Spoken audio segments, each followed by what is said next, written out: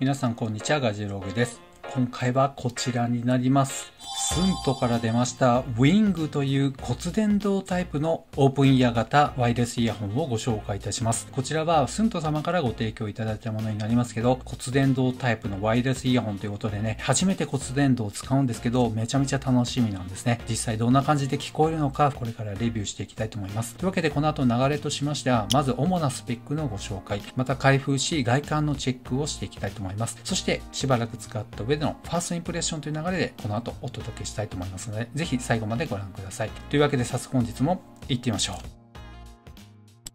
まず主なスペックをご紹介いたします。先ほどもご紹介しましたように、こちらのオープンイヤー型タイプになりまして、このタイプは骨伝導タイプとなっていますので、直接耳に入れるわけではありませんので、周囲の音を聞きながらっていうことができますので、安全面や衛生面においてね、なかなか使い勝手がいいんじゃないかなと思います。また音質になりますけども、20Hz から 20kHz のフルレンジサウンドとともに、 aptX Adaptive、または SBC コーデックによって優れたサウンドを実現しています。。また、アウトドアスポーツ向けということで、まず軽量ですね。重さは 32g となっています。そして安定性ということでね、この中に採用されています支柱となるものですね。それがしっかりね、頭に固定してくれることになります。そしてなんとね、ここの部分にね、ちょっと赤い感じで印刷されていますが、実はですね、LED ライトが搭載されていまして、このボディのこのサイドの部分が実はね、赤く光る形になっていまして、光り方も含めまして、いろいろ変更することもできます。あくまでもサイドから見えるようにになっていますので、夜スポーツをされる方にとって LED のライトが赤く点滅するとかね、この辺も安全性というのがよく考えられてるなと思います。これありそうでなかなかない機能ですね。そして IPX67 の防水防塵ということで、ある程度の雨やシャワーでも全くね、問題ないレベルとなっています。そしてこういったタイプでありながら、なんとデュアルデバイス接続といいまして、実はこれマルチポイントということですね。2台の Bluetooth デバイスとペアリングすることができます。1台はスマートフォン、もしくは自宅ではね、パソコンとつなぐとかタブレットとつなぐとかね、2台登録することができるのもなかなか便利ですね。そしてクリアな音声通話にも対応しています。これで電話しっぱなしってことはなかなかないかもしれませんけど、いざという時にクリアな音質で時速30キロの風切り音を低減する、そうしたね、ノイズを除去する機能がついています。このあたりもね、実際どんな感じでね、相手に伝わるのかテストしてみたいと思います。そしてスントウォッチから音声フィードバックとありますが、これもね、先ほどちらっとお伝えしましたけども、ツントのスマートウォッチでワークアウト中に音声でフィードバックっていうのがありまして、それがですね、Bluetooth 経由で Wing にも接続することができます。そうしますとね、直接骨伝導を通じて、ウォッチを見なくても音声で現在のステータスを確認することができます。そして気になるバッテリー持ちになりますけども、本体そのもののバッテリー持ちは10時間持つ形になっています。そして、モバイルバッテリーというかね、いわゆるね、ワイヤレスイヤホンでよくある充電のケースになりますね。こちらの方にこのようにセットしておけば、20時間プラスされまして、合計で30時間まで駆動する形になっています。そして10分間の充電で3時間再生することもできるのもね、なかなか急速充電が早くていいですよね。そして操作方法になりますけど、このように物理ボタンがついていまして、本体を直接物理ボタンで押しながらっていうこともできます。加えてですね、ヘッドジェスチャーコントロールと言いまして、これ装着している状態で頭を左右に振ったり、頭を上げたり下げたりすることによって、通話を受けたり、そして次の曲に再生したりとかね、そんな風にコントロールすることもできるようですので、このあたりもね、やってみたいなと思っています。では、これから実際に開封し、中身の確認とともに外観をチェックしていきたいと思います。というわけでね、パッケージ内容はこの通りになっています。まず本体そのもの、そしてこちらがモバイルバッテリーとなります、いわゆる充電台となるものがありますね。そしてこちらがね、ストレージバッグとありますが、いわゆる持ち運び用の巾着袋のようなものになります。こちらが専用の充電ケーブルですね。USB-A と、そしてマグネットチャージになってますね。またこちらがね、耳栓になっていまして、青とホワイトになっている。なかなか日本にないようなデザインの耳栓ですので、このように潰して耳の奥に入れて膨らむという形状ですね。こういったものがね、ついているの、なかなか面白いですね。そして合わせまして各種取扱説明書やワランティーカードが入っていました。では本体を見ていきたいと思います。まずね、このモバイルバッテリーと言われている充電台ですね。ここから取り外してみたいと思いますが、程よい吸着具合のマグネットで取り外しもそんなにね、重い感じはしません。まずね、背面を見ますと 500mAh と容量が書かれていましたので、小さいながらになかなかの容量となっています。このの裏面のポートは USB-C ポートですので、こちらの充電台使った方が普段使いにはいいのかなという気はします。そしてこのようにね、本体と装着しますと、今のバッテリーの残量が出てきました。かっこいいですね。そしてこちらがね、その本体になりますが、まず印象的なのは、やっぱりこのラバレットのこの赤い部分になりまして、めちゃめちゃこのデザイン性いいですね。スポーツしたいなっていうのをそそるようなこうカラーリングというかデザインになっています。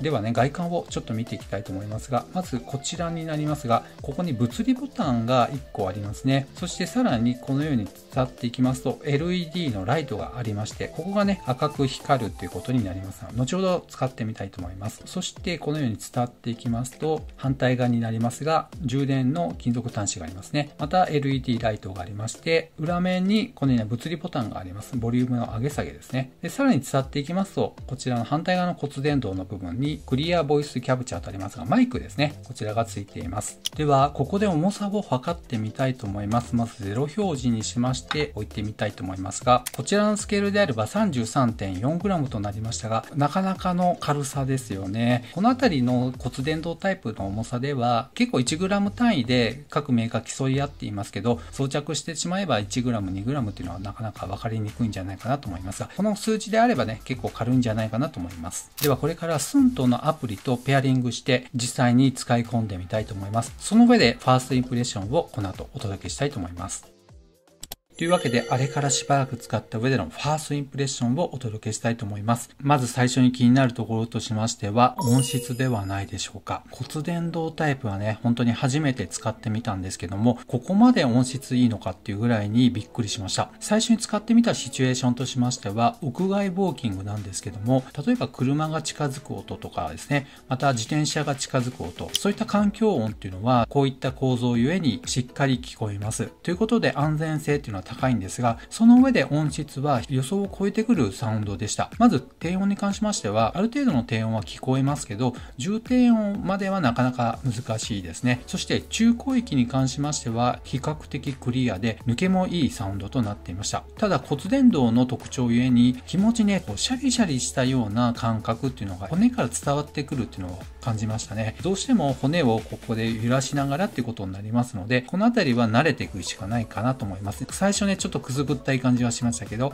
音に関しましてはね、申し分ないんじゃないかなと思います。次にですね、自宅屋内で使ってみました。そうしましたら、いわゆるオープンイヤー型のこういった形状の空気伝導方式っていうものがありまして、そのタイプとほぼね、同じクオリティぐらいのサウンドでしたので、これ非常にクリアだなと思いましたね。付属の耳栓ありましたが、耳栓をした状態で同じ曲を聴いてみたんですが、そうしますと、やっぱりね、低音は伝わってきます。音楽をじっくり聴きたいってことであればね、ちょっと耳栓出してきてってことにはなりますけども、そういった使い方もなかなかありなんじゃないかなと思います。ということで、ワークアウト中や、もしくは何かしながらっていうことであれば、え十分なサウンドをここから聞くことができます。じっくり聞く場合は耳栓をしてっていうことになりますのでね、そうしますとサウンドがアップするということになります。というわけで、このスントのウィング骨伝導方式、このモデルを購入される方は、やっぱり運動をメインで考えていると思いますので、サウンドに関しましてはね、先ほどの点をご留意いただければと思います。そしてね、気になりますのは通話の品質になります。こちらに関しましては、実際にこのマイクを通しまして収録した音声がありますので、通話品質がどんな感じなのかぜひご覧ください。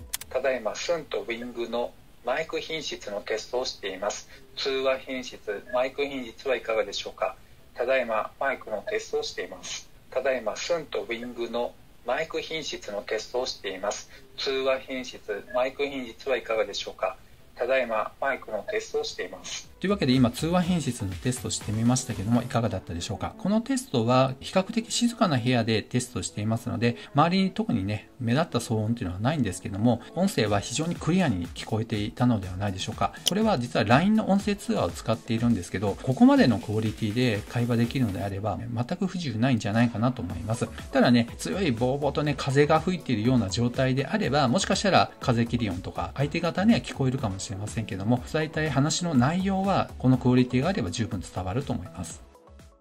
そして次にやっぱり気になるところとしましては、装着性ではないでしょうか。私がね、実際に装着してみたところ、ここの頭の後頭部の部分ですね、若干やっぱり隙間は空くんですけども、しっかりこのイヤーフックの部分で支えられている状態ですので、垂れ下がるようなことはありませんね。重量バランスもこちらの方が重くなっているので、しっかりとバランスを保って、ほぼ水平に保ってくれました。装着したばかりになりますと、重さっていうのはある程度感じますけど、音楽をね、ある程度聴いている状態態ですとね、重さを気にしなくなりまして、快適な音楽を楽しむことができるようになりました。そして頭を左右に振っても、前後に振ったとしても、落下するってことももちろんありませんね。もしね、外れたとしても首に引っかかりますので、落下防止っていう面でもいいかと思います。次にこのスントアプリの操作性がなかなかシンプルでいいなと思いました。本当に割り切ったユーザーインターフェースになっています。このアプリを使いますと、ヘッドジェスチャーコントロールというのがありまして、オンにすると頭の動きによって着信通話と音楽の切り替えを制御することができるようになっています。このように頭を左右に振りますと、次の曲に飛ばしてくれる機能がついてますね。また、着信があった時に、応答したい時に逆にね、首を振ってしまうと断るってことになりますので、ね、この辺はちょっと覚える必要があると思います。そして、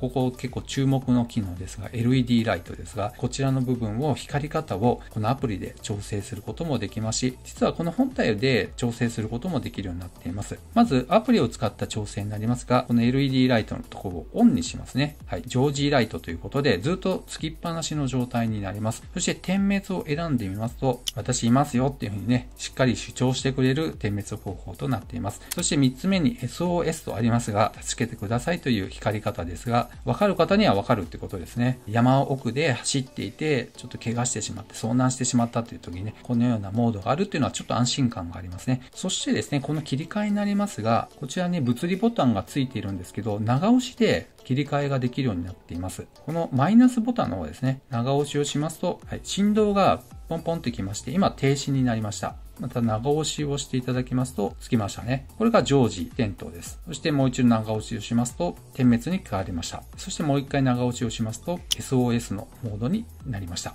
アプリでもできますし、本体そのものでも変更することができるようになっています。そしてね、デュアルデバイス接続とありますが、いわゆるマルチポイントにも対応しているのも非常に便利になっています。というわけで、このアプリそのものでヘッドフォンのカスタマイズ性っていうのはたくさんできるわけではありませんね。逆に言えばね、シンプルで使いやすくなっていいんじゃないかなと思います。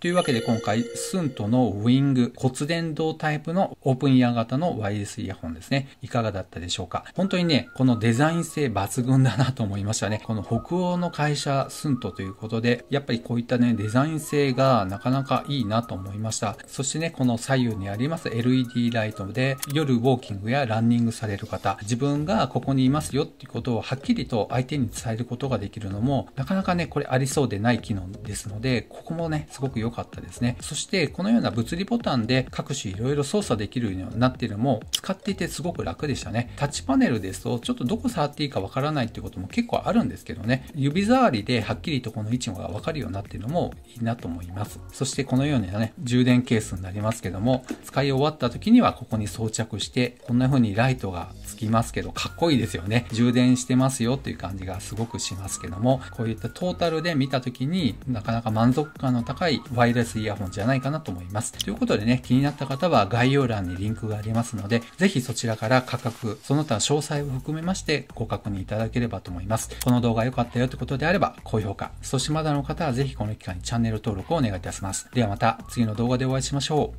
う。さよなら。